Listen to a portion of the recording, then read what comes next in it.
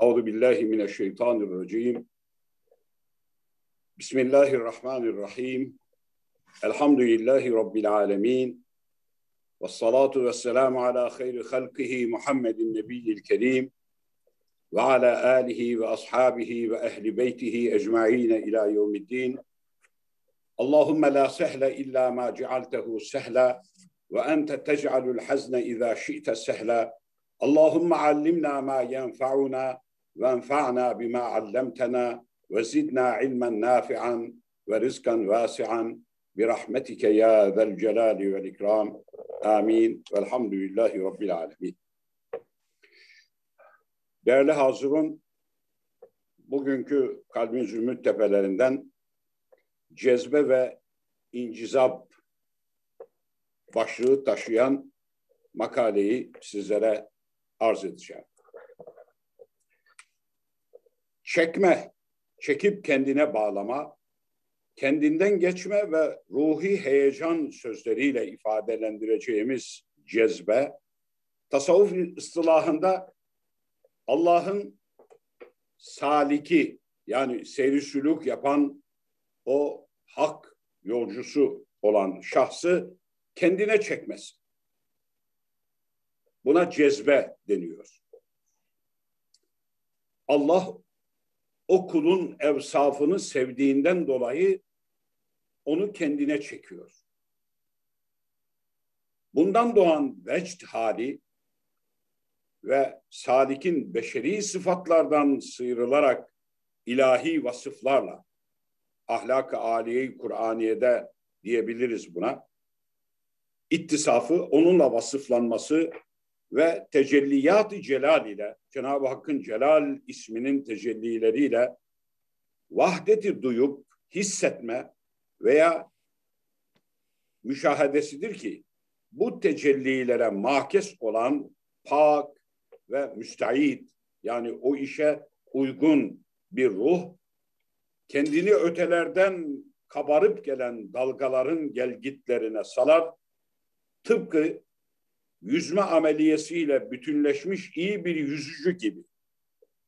Endişesiz, korkusuz, telaşsız ve derin bir teslimiyetle bazen de şevku tarab içinde yani zevkler üstü bir zevk içinde sürekli yüzer durur. Cezbe insanın özüyle irtibatlı. İlel merkez merkez çek. Bir de bu anil merkez var.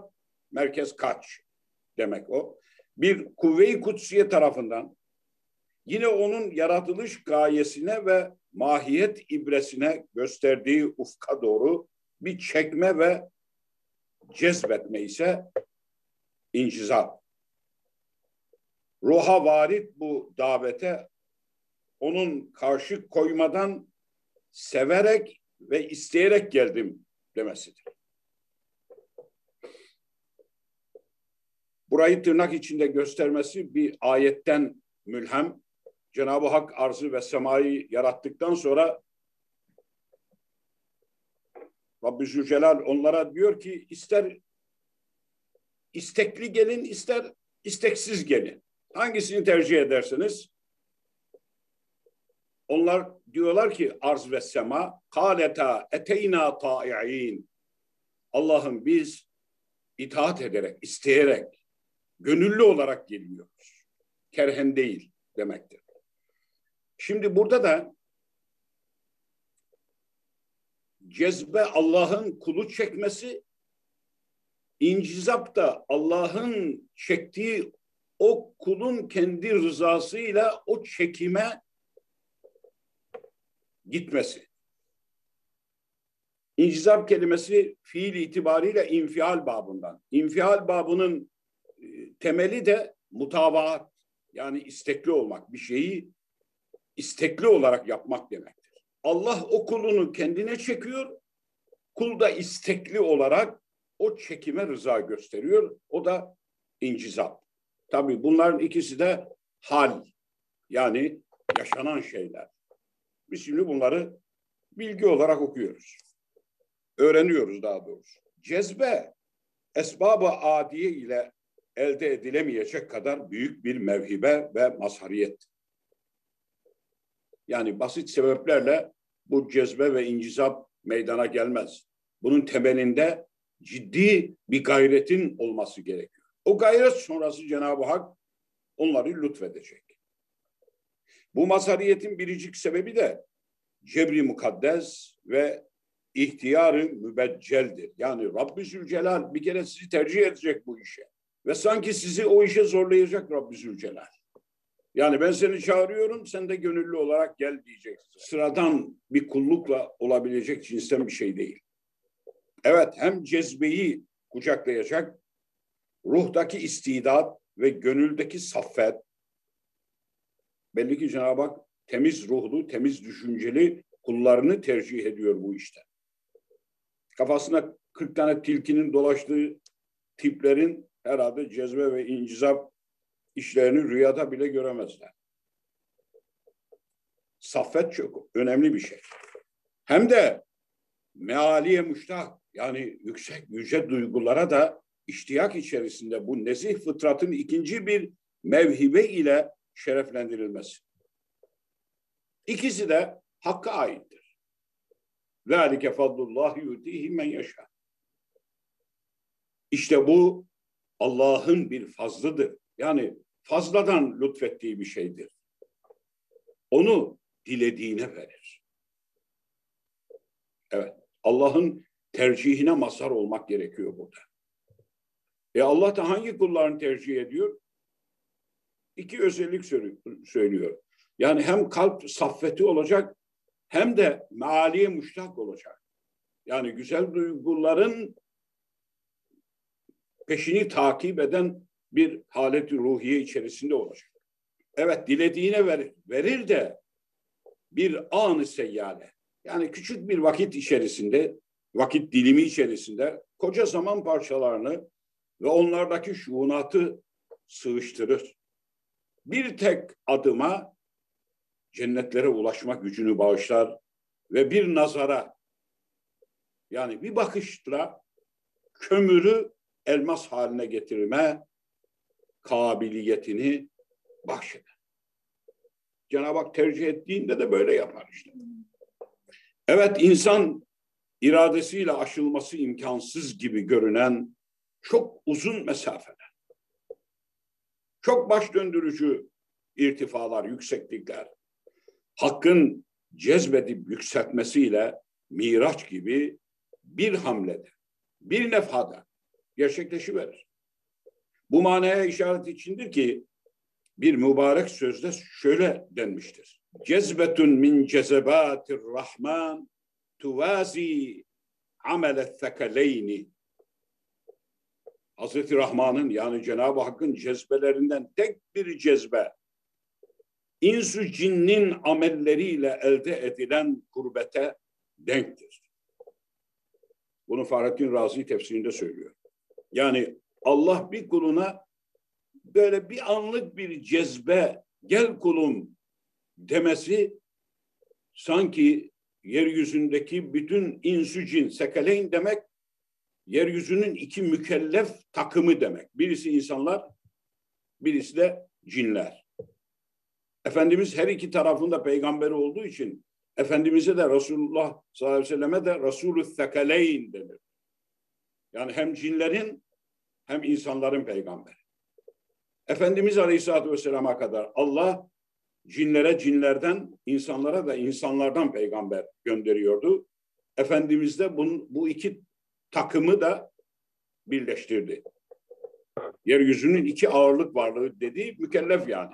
Öteki varlıklar mükellef değil.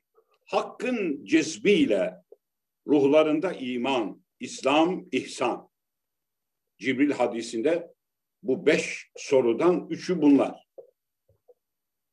Son iki soruda kıyamet ve kıyamet alametleri. Hakkın cezbiyle ruhlarında iman, İslam, ihsan esrarını duyan münceziplere yani cezbeye kapılanlara üveysi meşrer denir ki bunların bütün duygu, düşünce, hissiyat ve davranışları o kutsi cezbe ile müncezip olmaları sayesinde hep istigrak ve hayret içinde geçer. Yani o cezbenin getirdiği atmosfer içerisinde adeta boğulmuş gibi. İstihrak demek bir şeyin içerisinde dalıp gitmek demek. Gark olmak bu kelimeden geliyor. Boğulmak demek yani. Ama bu istihrak o da istifal babından bir şeyi talep edeceksiniz. Onun binası da talep için. Estağfurullah derken de bu, bu kalıbı kullanıyoruz. Yani Allah'ım ben mağfiret olmak istiyorum. Bağışlanmak istiyorum demektir. Estağfurullah kelimesi. İstigrak da böyle bir kelime. Yani kul Allah'ın rahmeti cezbesinde boğulmak istiyor. Hep o, o hali yaşamak istiyor. Allah da lütfederse ediyor. Bazen de cezbe ile riyazet ve ibadet arasında devir gibi bir salih daire teşekkül eder. O salik, o mürit zaten hücrede erbain mi çıkarıyor, çille mi çıkarıyor, elfiye mi yapıyor, ne yapıyorsa orada zaten az yiyor, az uyuyor, az konuşuyor. Dolayısıyla da o pozisyonlar ruhunun mealiyata yükselmesini temin ediyor ve neticede de o insan Cenab-ı Hakk'ın o cezbesine mazhar oluyor. Bu bir salih daire. Yani riyazat yaptıkça cezbe, cezbe devam ettikçe riyazat, riyazat cezbe, cezbe riyazat bir salih daire meydana getirir. Hak yolcusu ibadet ve riyazeti ölçüsünde cezbe ile taltif edilir. Mükafatlandırılır. Ve cezbesi nispetinde de kendini riyazet ve ibadete verir. Salih daire bu işte. Şer'i kıstaslar ibresinin gösterdiği istikamette hareket edildiği sürece de bu alışveriş ve bu doğurgan teselsül devam eder. Yani salik sünneti Resulullah'tan ayrılmadığı sürece şimdi biraz sonra ikinci grubu söyleyecek. Yani öyle bir dalgaya kapılır bazıları da sünneti terk eder. Allah korusun. Sünneti terk etti mi zaten tılsım bozuluyor. Ayakları kayıyor icabında. Şimdi orada şatahata girmeden gerçekten bir mürit e, istikametini koruyarak kalırsa bu salih daire devam ediyor. Aksine Mişkat-ı Muhammed'in aleyhissalatü vesselamın nur efşan ikliminden uzaklaşıldığı ölçüde de çeşit çeşit iltibaslar baş gösterir. Yani bu sefer karıştırmaya başlar. Şeytani mi, rahmani mi? Lauvallikler yani şatahatlar zuhur eder ve şer'i mükellefiyetlerin hafife alınması gibi zulmani hallerle karşılaşma fasit daireleri içine girilir. Dolayısıyla Allah korusun tehlikeli bir şey yani. Herkes cezbeyi anlayamayabilir, kendini bir şey zanneder ve şirazeden çıkar. Her şeyden evvel cezbe bir istidat ve bir ilk mevhibedir. Allah'ın bu ilk cebri atası yani ihsan ettiği bu güzel şeyler olmadığı takdirde hak yolcusu mücerret riyazet, ibadet ve tasfiye ile ne cezbeyi elde edebilir, ne incizaba erebilir, ne de ismi veduttan süzülüp gelen ışıkla kainat çehresindeki cezbu incizap dalgalar, dalgalanmalarına dalgalanmalarını görüp anlayabilir. Ve böyle birisine hiçbir şey değil denmesi doğru olmasa bile ciddi bir şey olduğunu söylemek de oldukça yani. Kazanma kuşağına kaybetme gibi bir şey bu. Kazanma kuşağındadır adam ama o, o cezbeyi, o incizabı olması gereken seviyede değerlendirip sünnet-i seniye istikametinde devam edemediği için tam tersiyle tokatlıyor. Cezbeyi aşk olmayınca neylesin şeyhim beni? Hak'tan ilham gelmeyince neylesin şeyhim beni? yolu söylüyor.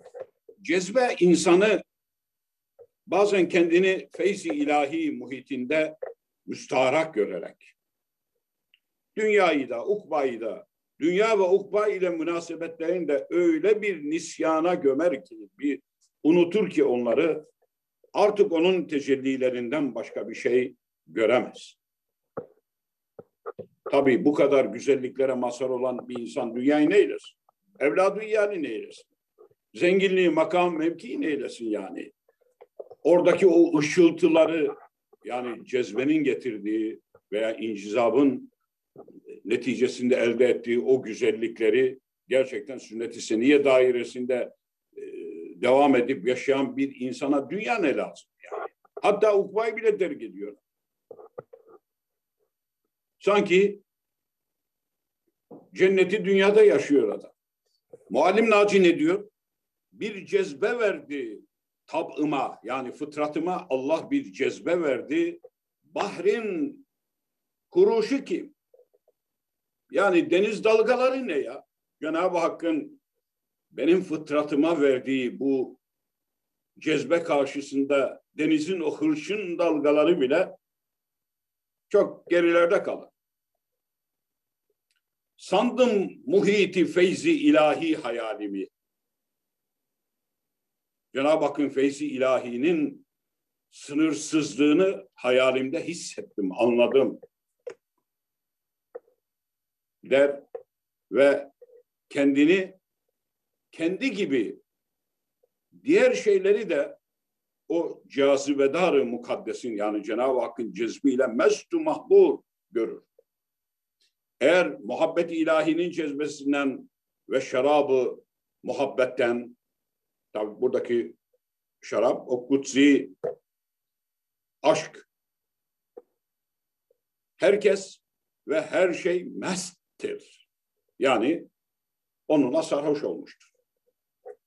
Felek mest, melek mest, nucum mest, semavat mest, şems mest, kamer mest, zemin mest, anasır, maddeler mest, nebat mest, şecer mest, beşer mest ve baştan başa bütün canlılar mesttir.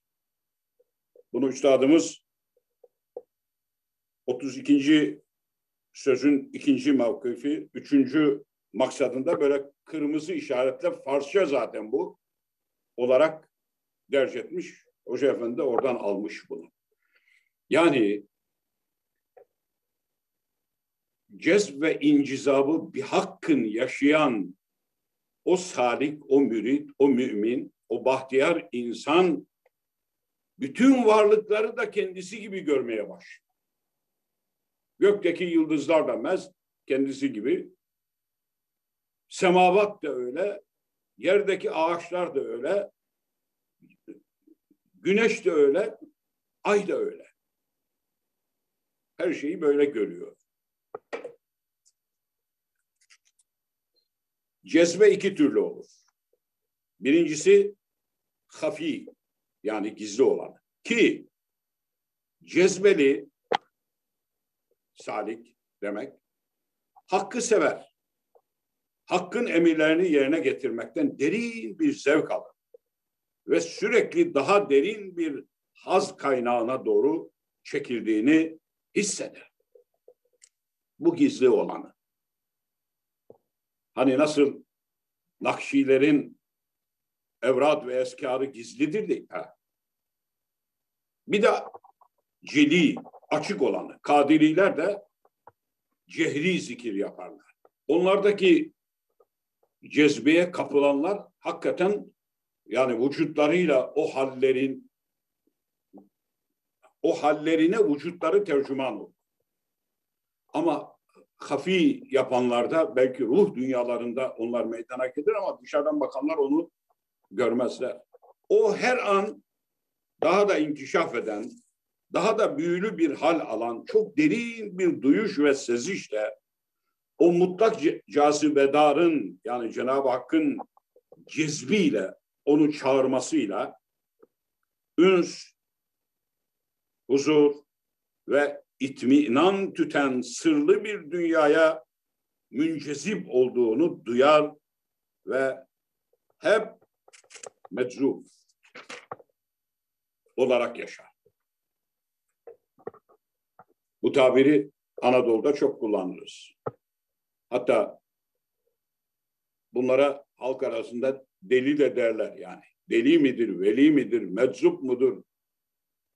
Allah'la kendi arasında bir hal yani.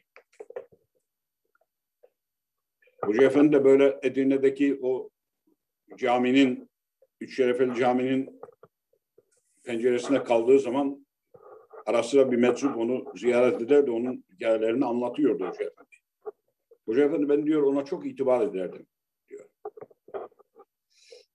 Tabii halden anlamayanlar da onun hayatındaki televünata yani o renkli konuşmaları veya tavırlarına bakarak onu deli sanırlar. Kim bilir Allah alem o da halkı deli zannediyor. Bu hal ve bu iltibas yani bu karıştırma veli mi deli mi meczup mu iltibası ifade etmesi bakımından Abdülaziz Mecdi Efendi'nin Cünun redifli şu gazeli oldukça manidadır. Cezbe derler bir cünun vardır feyzi enin, fevzi enin. Bundan eyler ıttıla, belaya, esrar-ı. Cezbenin zahiren cinnete benzeyen yanları vardır. Neden? Normal değil çünkü. Yani adamın tavırları da, konuşmaları da normal halkın e, seviyesinin çok üstünde olduğu için anlamadıklarına deli diyor zaten. Cezbe tecellileriyle halden hale, hale intikal edip duran meczubun idraki ya kayıp normal beşer idrakinin altına düşer. Düşer de ondan hissi selim, akıl ve şer-i şerife tevfiki imkansız haller zuhur etmeye başlar. Daha önceki ikinci kısım yani fasit dairenin tipleri onlar bu kapsama giriyor. Veya yükselip adi insanlar seviyesini aşarak adi dediği sıradan normal insanlar seviyesini aşarak öyle beşer üstü bir zirveye ulaşır ki onun ötesindeki seyahatinde hep elinde sünnet meşalesi. Hissu aklin önünde sonsuzluğa pervaz eder durur da görenler onu mecnun zanneder. Bu da normal yani meczup. Heyhat. Aklın altına kayıp düşmüşlük ifadesi cinnet nerede? Aklı, hissi, tevfik-i ilahinin yedeğini alıp sürekli onların önünde yürümek nerede? Biri Sera, biri Süreyya. Biri yerin dibi, biri göğün üstü. Yani arada çok fark var. İkisi de bir yolla Allah'a ulaşmak isteyen müritler ama birisi yolda şaşırmış, birisi yolunu bulmuş, devam etmiş iki insan tipi. Yani bu kadar güzelliklere erdikten, erdikten sonra bile kazanma kuşağında kaybetme herhalde böyle bir şey olsa gerek. Efendimiz Aleyhisselatü Vesselam'ın nazarları nasıl yani istidadı olanları da kömürden alıp şeye yükseltiyor. İnançsızlık ve küfürden alıp imana yükseltiyor. Hazreti Ömer Efendimizin hali buna en güzel misaldir. Yani Efendimiz'i öldürmeye geliyor ve sahabi engel olmaya çalışıyorlar. Efendimiz bırakın gelsin diyor. Yani.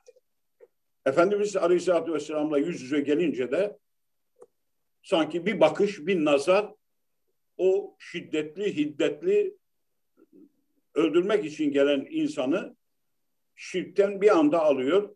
hala iyiliğini yükseltiyor yani. Bu aynı zamanda o veraset yani o peygamberani duruşa varis olan insanların nazarları da böyledir. Onun için büyük insanların önünde derler ki alimlerin önünde dilini, ariflerin önünde de kalbini sağlam tut. Çünkü onun bakışlarıyla senin bakışların çarpışmaması lazım. O büyük insanlar nazar ettiği zaman Allah'ın inayetiyle baktığında da bir istidat, bir kabiliyet varsa, imana yönelik bir güzellik varsa ortaya çıkıyor. Kur'an ayetlerin de Allah'ın kelamı olması itibariyle onun da bir cezbesi var. Ya ezanın bile bakın. Ezan, ezan. Nice insanlar ezan dinleyerek Müslüman olmuşlar. Yani ezan normalde Müslümanları namaza çağırıyor. Ama ezan aynı zamanda şimdiye kadar hiç dinle, diyanetle, imanla alakası olmayanları da cezbediyor. Kaliteli bir sesle, güzel bir ihlasla okunursa bir ezan hakikaten bir cezbedir yani. Bu ezanlar ki şehadetleri dinin temeli diyor ya merhum Akif, gerçekten o din temelli davet bir cezbe meydana getiriyor ve kulağından giriyor, kalbine yerleşiyor iman mesela. Çok hatıralar var. Ezan dinleyip de mesela Süleymaniye'de veya Selimiye'de ezan dinleyip de ardından şehadet getirmek isteyen, Müslüman olmak isteyen. O da bir cezbedir yani. İlla seyri sülük ruhanide ki değil. Onunki belki kaliteli bizim okuduğumuz cezbedir. Ama Allah ezanla birini davet ediyorsa kendine o da bir, bir cezbedir yani. Şahıs da incizaba kapılmış oluyor. O da o ezandan sonra gidiyor. Kur'an da böyle bir şey işte yani. Kur'an'da Allah'ın kelamı olması itibarıyla onda da bir cezbe var. Böyle kaliteli bir okuyuş, ihlasla, efendim ağlamaklı bir biçimde. Yani o kime tesir etmez ki? Müşrikler bile Kur'an'ı dinlememek istiyorlar. Gürültü çıkarıyorlar Kur'an okunduğu zaman. Korktukları şey şu işte. Yani biz de kapılırız. Böyle bir şey hiç duymamışlar şimdiye kadar. E şimdi bir de Efendimiz Aleyhisselatü Vesselam'ın ağzından veya Hazreti Ebu Bekir Efendimiz'in ağzından Kur'an dinleyen bir insanın cezbeye kapılmaması mümkün değil. Onun için dinlememeye ve arkadaşlarının da o Efendimiz'i veya sahabe-i kiramı dinlememeye yöneltiyorlar. Dinleyen gidiyor çünkü. O cazibe insanları Kur'an'a yöneltiyor. Hazreti Ömer Efendimizin de ilk belki cezbesi Kur'an'la oldu ama ilk Efendimizle yüz yüze gelince o da ayrı bir cezbe meydana getirdi. Allahümme inna nes'elüke mucibati rahmetik ve azaime mağfiretik ve selamete min kulli ithm vel ganimete min kulli bir vel fevze bil cenneti ve necati minen nar. Ve sallillahümme ala seyyidina ve seyyidil ebrar vel ahyar. Amin. Velhamdülillahi Rabbil alemin.